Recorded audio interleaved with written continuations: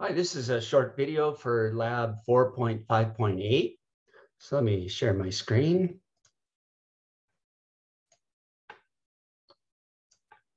And here's the lab. So it tells us uh, disconnect the external hard drive, insert the USB drive, update the driver for the network adapter, and then update the driver for the scanner.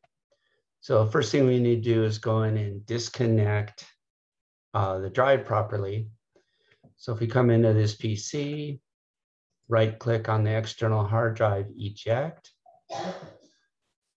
And then we'll go to the bench, go to the back of the computer. And if we look at um, the drive here, we can see that it's connected here. So this says this is the one connected the external hard drive. So let's disconnect this USB cable. Take that one off. Then we need to put in the storage. Put it in there.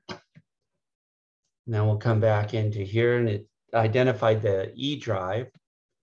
And then so the next step is insert the USB, verify the system detects it. That's right there. Update the driver for the network adapter. So we can go into device manager network adapter, right click, update driver.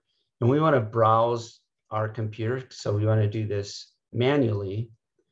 And that driver is on the E drive. It's in the drivers folder. So we'll hit next and we'll let it go.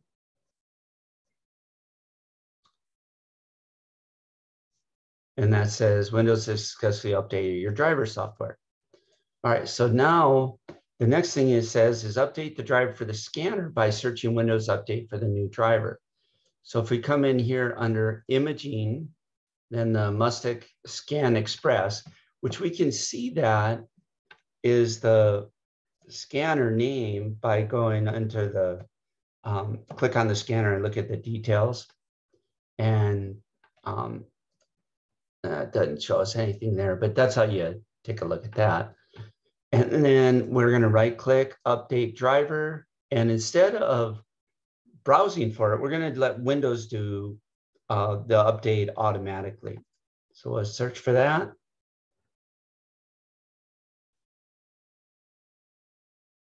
And it says it was successful.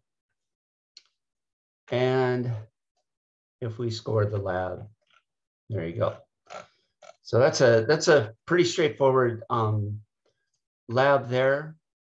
And hopefully this video will help you if you had any problems. All right, take care.